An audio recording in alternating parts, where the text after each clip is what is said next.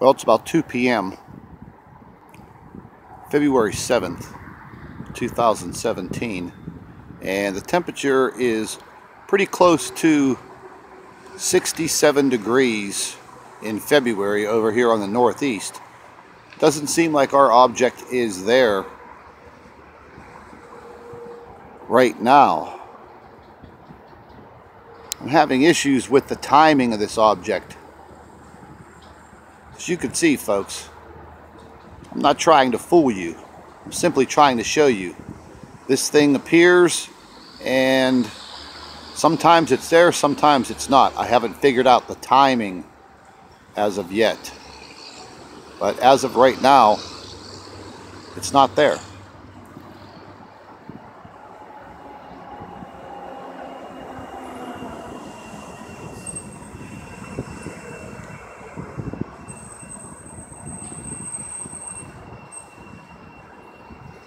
And that is the sun. It's a beautiful day. It feels like the beginning of summer in February. But it's not there. Where it is at this point, I don't know.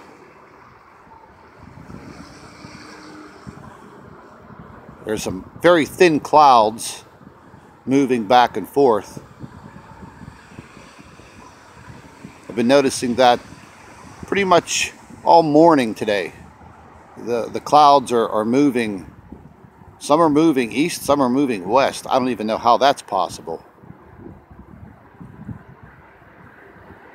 But there you go. For right now, this object is not there.